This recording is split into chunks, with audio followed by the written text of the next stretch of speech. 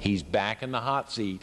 Find out what makes Dick Rosen tick. He's back for part two on this morning's Carolina People.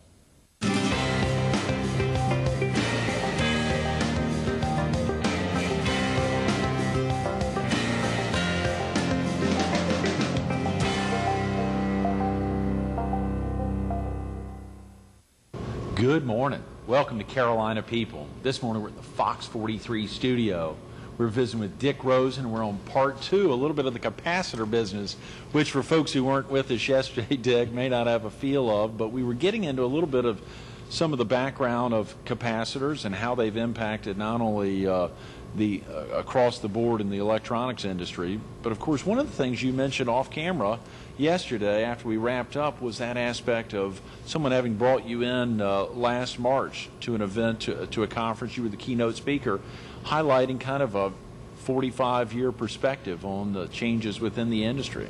I think they were just looking for somebody that was old and was still around. Who could fill but, the. But it was kind of interesting because it makes you reflect on what's happened. And uh, particularly, I studied in electrical engineering and.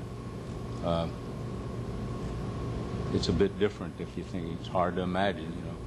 Forget about cell phones. We didn't have dial. We didn't have digital phone, We didn't have only computers were huge things that, that uh, scientific institutions, IBM, AT&T, guys like that may have had them. Uh, you know, had them in the in the large universities, but nobody knew what a computer was. Right. Uh, was, I mean, that's the greatest extremes, but which have almost everything in between. You know, electronic watches I don't know when electric watches came about, but it wasn't electronic. I mean, there was so many. Uh, it's it was really hard for me to imagine black and white TV would had just come into South Carolina. Uh, when I left for school, which was '54, that uh, Greg just you just mentioned, they just opened a station in Charleston, down in Georgetown. We used to occasionally get Charlotte. One of we, my grandfather sold them, so we had a TV set and when the clouds were right, you could get TV. But I mean, it's hard to imagine a day of uh, the lack of digital systems in, in total.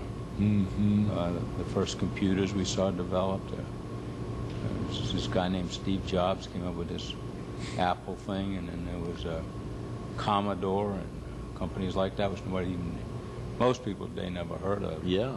I remember the first Bowmar handheld calculator. And, of course, TI and a lot of folks made lots of them, and then they ended up, most of them, well, I think all of them made in Asia today, but I still have an old Bowmar calculator, which is about three cigarette packs big and probably cost a couple hundred dollars and add, subtract, multiply, and divide, and that's it. And it may have had a memory, I'm not even sure. But, but it's it just, a, you know, it goes on and on and on. Uh, there weren't jet, I don't remember when the first jet planes came into being commercially, but they were not, they were around that time frame. Sure. Uh, I went to school from Charleston and a old piston engine Martin 404. It took about a week to get to Boston. Uh, a lot of changes. Yeah, one, of course, for viewers who were with us yesterday, they know obviously you, Dick Rosen, the retired chief executive officer of AVX, grew up in Georgetown, in the city of Georgetown. You were just mentioning that yeah. your uh, your grandfather was a merchant there. I know you shared yesterday that your father and and uncle uh, had been attorneys. Your father was an attorney. Your uncle's still practicing. What was that like growing again uh, for for viewers who weren't with us yesterday? Growing up in Georgetown and then heading off in 1954, which was of course a big year, uh, a big year in the South, a big year in the country, and attending school in Cambridge, Massachusetts. Uh, it was, uh, well, Georgetown was home, and I mean everybody loves home, and it was great life growing up, and had lots of good friends, many of whom we're still friendly with. We built a house down at Pawleys Island a few years ago and got re reunited with a few. Right. But uh, it was it was a wonderful life, and uh, I. There's a long story of why I went to school in Boston, but that's not really so important. But it was a an enormous shock. Yeah. Uh, Winnebago High School, MIT was a. I think I was just lucky to survive, uh, but uh, but the whole experience was pretty phenomenal. The exposure to a big city. I've been a Yankee fan, so I wasn't impressed with the Red Sox. but we used to sneak over and sneak through the fence. They'd let us go in and watch games. But it was a great experience. I mean, For big, yeah, a big international school like MIT must bring folks from not only all over the world, but particularly all over the U.S. So there's probably a lot of folks coming out of small. I mean, not necessarily like uh, USC, uh, University of South Carolina, which would have a lot of folks from South Carolina Right. Or UNC. from all over. I mean, folks from all over. Many coming out of small towns, I guess, or or no. Yeah, well, the, the biggest number would have come from, you're talking about a, a, a unique school, not good or bad, but it was it's a technical school. Mm-hmm. And you had more people would come from technical universities, uh, technical high schools, there's Bronx Science and Brooklyn Tech and New York, and there's schools like that in Chicago and most of the big cities. And that technology was not as big a thing then. Today, there are a lot of engineers in, you know, Silicon Valley a few years ago, what have you.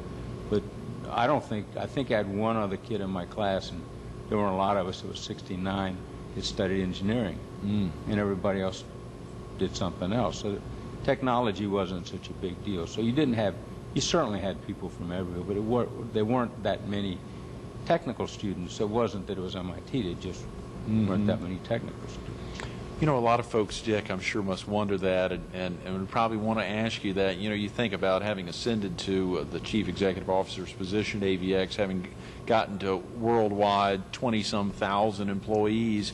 One of the questions folks would ask was, what was your first childhood job? Can you think back to, was it Sure. working in your grandfather's? No, I uh, was delivering circulars for the baseball team in the summer. I organized a bunch of kids with bikes, and we had these circulars, and we, did, you know, just promoting the uh, the baseball game. That was my first. I don't know if we got paid, but that was my first job. that you definitely remember. How about your first job as an adult? Was it after MIT or?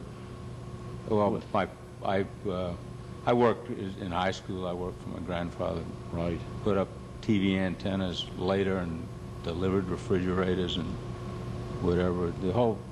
It's hard to imagine, but there was electricity was just being delivered in this area to what we call the country, but the, the back roads which have developed tremendously since then, and we'd fill a refrigerator with uh, a truck with refrigerators, and we'd go out in the country and sell them to people that had a, a hanging bulb from the ceiling. We'd have a screw-in socket that you could screw the bulb in, and you had two plugs on either side and an extension cord and hook up a refrigerator. I guess that was my first real job. And it was great because you met a lot of nice people. Yeah, sure. And it was to see, uh, you know, a lot of them wouldn't have running water, have pumps, wells, and whatever. So, Stuff you'd never forget, and I'm Well, sure. and today it's just, uh, you know, everything has changed. I mean, fortunately, I mean, it's great because people advance, but it was a great experience seeing part of our, our area evolve into this century, if you would. Yeah, yeah. It's the fascinating thing about thinking you can still go down dirt roads in Georgetown County, but get to a home where they're using wireless internet. I mean, you know, to uh, Sure. the impact of, uh, of, of surely electric, electronics in, in the world. We'd gotten into capacitors a little bit yesterday, Dick. We began talking about AVX's primary role, and I know we won't won't ask you to explain that again. One of the fascinating things there we talked about off camera yesterday was that aspect of the Kyocera Corporation. Uh, and a little bit yesterday, you shared that 70% of uh, AVX currently is held by Kyocera Corporation. That's based out of Japan. Right. And of course, are you uh, are you and Brenda Japanese speakers? No, I, at one point I could understand quite a bit, but I could communicate. I can't anymore. There's a lot of nodding and shaking. No, hand- but there's yeah. a lot. I mean, I think one of the things you learn when you travel is you learn to listen. And if you listen, it's amazing how much. You, if you, I mean, I spent a lot of time. I probably spent oh, over 10 or 15. We had a company before Kyocera uh, in Japan, and I spent a lot of time there. And uh, and when you're alone at, at, in a place and nobody speaks English, you learn to communicate. And so we did that. But uh, and a lot of us learning to listen. I'm sure you've probably said it before. I recently heard Brad Dean say it. A good reason we have two ears and one mouth. That aspect of listening twice as much as we speak. How about some of the current hurdles for AVX going forward? Some of the things in the industry that uh, I know, obviously, you talked about over the last five years. A lot of the capacitors y'all are putting out, we're going into equipment. Y'all are enablers. I think you stressed yesterday, going into equipment that sat on shelves for a couple of years, but now y'all are probably at a point where people are Well, that's that's pretty much gone. I, I think a year or so ago, that was maybe even a year and a half, two years ago, we we started the building phase. The industry started building new stuff, and And there's a lot of development. You talk about uh, new telephone systems. That that's a big thing. And the the uh, computer industry continues to evolve and change models and specs and what have you. Uh, but the communication part of the business is probably the biggest part. And AVX makes uh, a number of uh, unique products that they sell to the industry, which help us in, with some of these marketplaces. Mm-hmm. And I think the uh, the biggest problem everybody has in our industry, unlike most products, uh, the prices of things electronic go down every year. You talk to somebody, see this five thousand dollar big flat screen TV, and it's well, we wait till next year and it'll be three thousand. Right. And that's why we've grown so much. I mean, the industry's grown more than anything else. But it's also the biggest challenge, and it's cost down, reducing the cost to produce a product and still being able to make a profit. Yeah. And that's the challenge to the industry. You know, I've talked to some of the large TV manufacturers over the years, and you would think they made a lot of money in TVs, and they didn't. You know, RCA is gone. Zenith is gone, Magnum, they have, they have, they're still there, but somebody bought Owned them. by different Because they didn't make any money. Right. And I think that the, the challenge, and AVX has been pretty good at doing it over the years, and, you know, we make more money some years and less others. But with the exception of the few years with the inventory cor- correction, Mhm. we've been able to generate a profit. And I think that the challenge will always be in our industry. Obviously, the, to deliver products, new products, uh, state-of-the-art, uh, good products is a challenge, but to make money in the electronics industry is truly the biggest challenge. Who would be y'all's biggest competitors? Are there names that we know on, on a worldwide basis, or do a lot of folks in this area know uh, uh, about AVX just because it's headquartered here? Well, well, one of our, it's not really our biggest competitor. It was at one time a big competitor. It was a company called Kemet, which is in the western part of South Carolina. Mm-hmm. And their product line is very similar to ours. We today make a lot more than they did, but a few years ago that wasn't true. Very similar. Uh, but Kemet is, is slipped from a leader. We still are a leader, and there are companies which probably wouldn't have heard of. Kyocera, I mean, excuse me, uh, Murata, who there's no reason why you would have heard Right, of Murata. right. There's another company called TDK, which you have hear, heard of because they make uh, magnetic tape and Sure. children who use the uh, old uh, VCRs. You, that was you had TDK tape, Yes. but they're also big in our industry. And the other companies, those are Japanese. Mm-hmm. Uh, they're companies in, in China and Taiwan, Europe. Uh, mostly now, uh, is a company which people. Again, we don't make consumer products. Mm-hmm. Sure. So Y'all are- nobody nobody knows who makes the stuff from which people make things that they buy. They That's right. I mean, you don't know who makes carburetors for General Motors. You wouldn't recognize them unless you happen to be a, A car you know, mechanic, a car sure, mechanic or, or something. And it's the same kind of thing. Mm-hmm. Mm-hmm. But our biggest competitors are not U.S. companies today.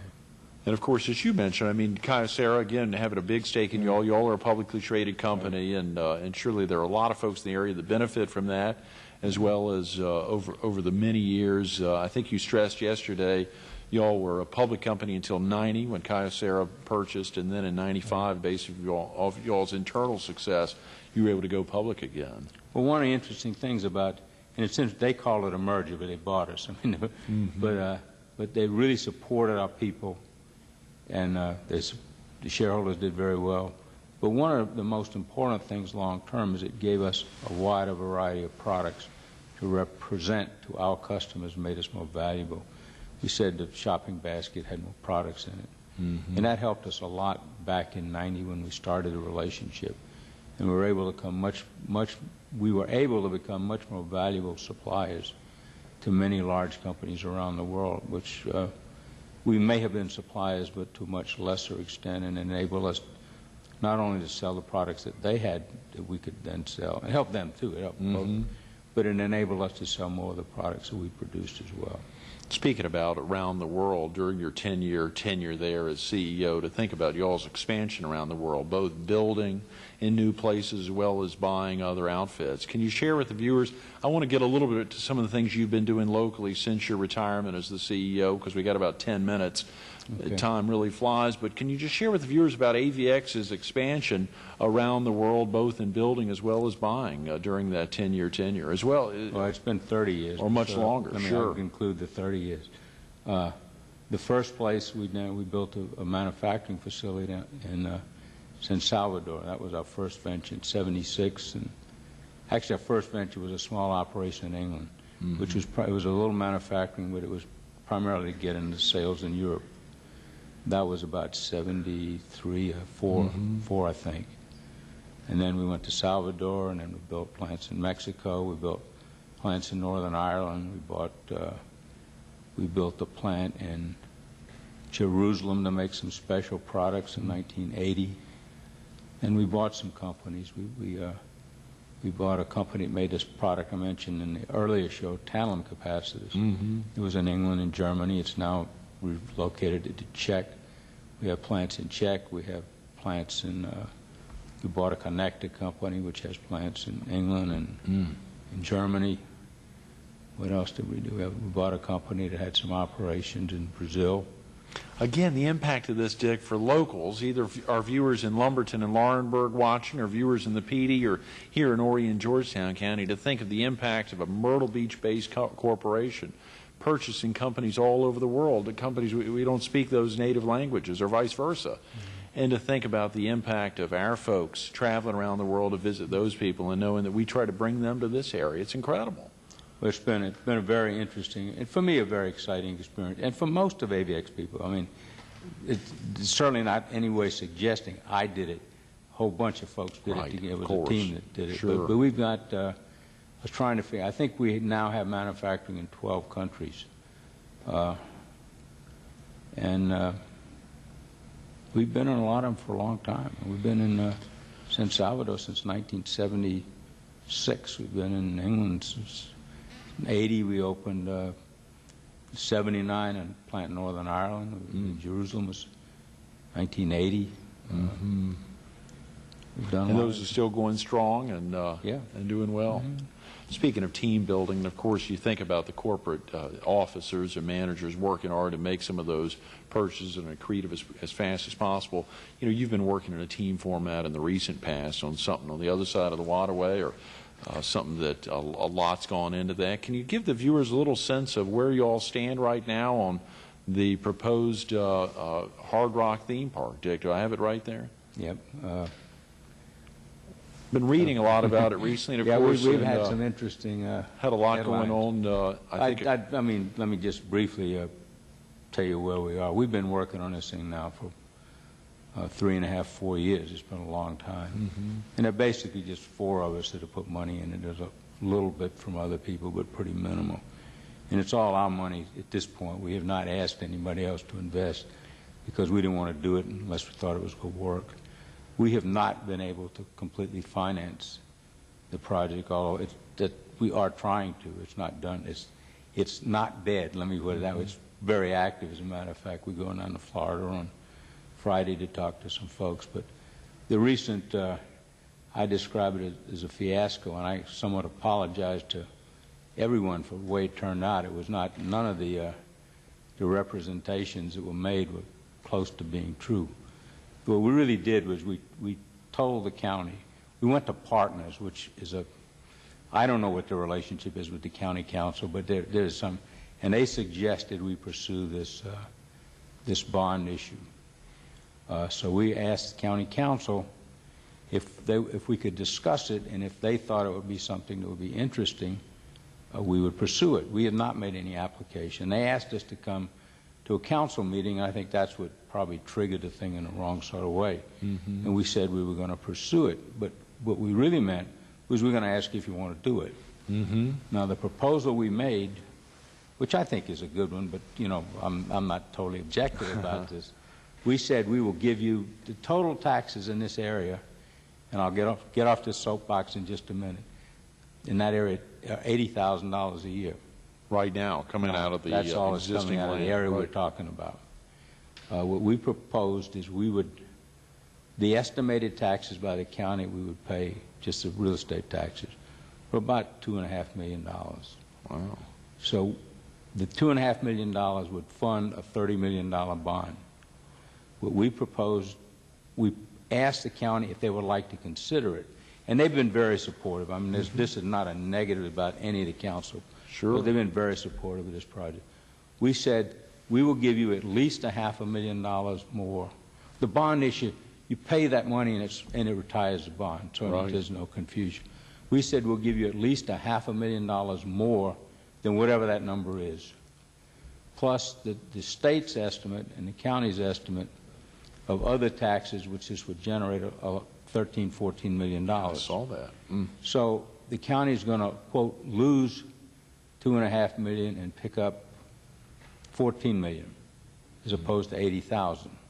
And that doesn't, and the number of jobs it creates are pretty substantial. A number of them are very good, full-time jobs with benefits.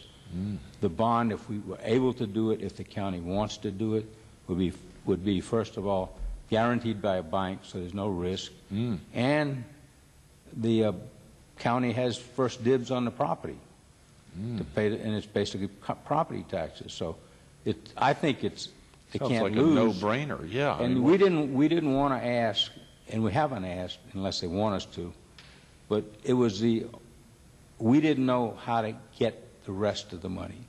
So we, we asked, which I don't think is a, is betraying any public trust.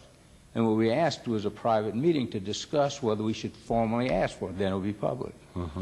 And, and I, it got kind of out of hand, and I think nobody really understood what happened. And uh, thanks for giving me an opportunity to explain it. But it was, it was a, it was a request of the council to see if they thought it was a reasonable thing to do, ensuring that they would get more money than they get now, and ensuring that there was no way they could lose any money because a bank would guarantee it. Mhm. We can't guarantee it because we don't have that much money, but the bank would guarantee it. So we thought it was a reasonable thing to see if it was of interest to the council. There there have been a lot of problems in politics everywhere, certainly mm-hmm. Horry County is, mm-hmm. and we didn't want to embarrass anybody, and we still don't. And if it goes away, it's fine, it goes away. Dick, how much acreage are we talking about? And, and, and for 150 acres. 150 acres for again for our viewers in southeastern North Carolina and the Pee Dee. They're traveling down 501 before they hit the waterway. It's just It's 150 it- acres on the right. It's, it's the land in back of Waterm- Wa- Waccamaw Pottery, Mall Pottery. Okay. including Mall 3 and, and an aban, which is basically abandoned, and the Ice Castle, which is abandoned. Sure. It would- does it impact medieval times and the churches back there? Uh, Medieval times is- would be delighted. Yeah. Oh, Uh, sure. One of the churches would be, neither one of the churches object to it. There's some concerns about traffic. Right. And we've tried to address it with them. One of them we've had great meetings with. Right. The other ones, we, you know, we, we would continue the discussions when, uh, but it's not meant to be unfriendly to anybody, and that's. Sure. You know, of course, in a small town, Dick, and we're talking, uh, obviously, this is not a small county, geographically, the No, largest county in the a lot of state, but uh, less than a quarter million people in the entire county. Sure. 1,300 square miles. You know, we think about, as we were talking a little bit yesterday, your involvement in a community bank, in Crescent Bank. And of course, we, we know some of those board members are, you know some of those officers are because we've seen them pictured on the crane or in other Sure. places. You've got guys like Egerton Burroughs and others. I mean, a lot of folks that, I mean, a whole lot of folks around that are both welcoming of, uh, of other opportunities in the area as well as oftentimes a lot of folks concerned about things happening. So the great thing is in a small community, there's a lot of hand holding and a lot of folks working in tandem. Well, we've gotten a lot of support from council in the past, as I said, and I'm not saying that just, you know, to, to appease anybody, they really have been very Sure. supportive. And, and I, it's understandable that there've been some problems in the past with what were perceived to be giveaways. Uh, to me, it seemed to me if you can get 14, 15 million dollars instead of 80,000, and what you put up is a uh, guaranteed by banks like I don't know, BB&T, Wachovia, Bank of America, big banks with lots of money, Right. then it seems to me it's, it's, it's like the count, it's like the community investing in a business. Yeah. But that's, it's, it's, has not been proposed. It will not be proposed. Un- unless there's some interest. And if the community doesn't want it, I don't think the council should support it.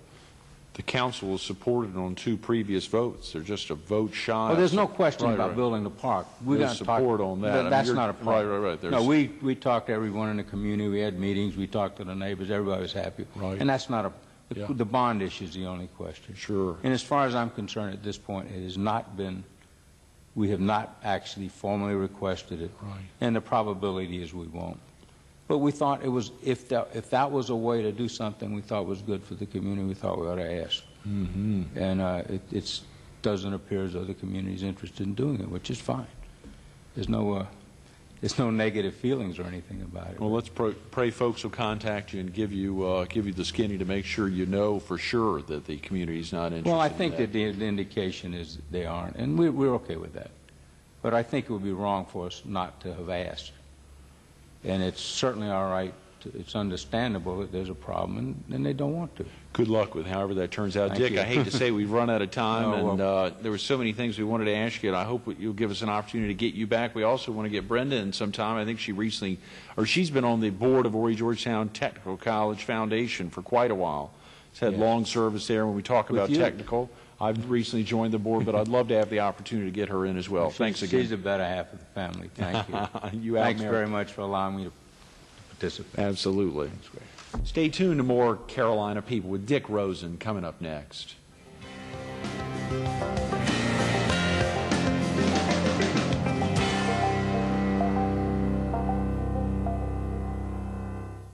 Someone said if you want to learn about international finance or international trade, talk to Dick Rosen. We didn't get to talk about that. I wanted to ask him if he wasn't the chairman of the board of the AVX Corporation, what he'd be doing.